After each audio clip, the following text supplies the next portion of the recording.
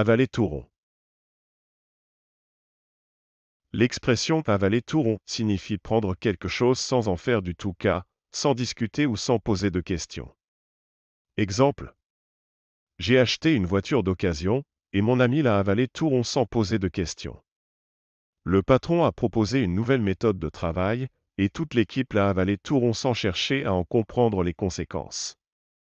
La mère a donné une punition à son fils, et celui-ci l'a avalé tout rond sans se défendre.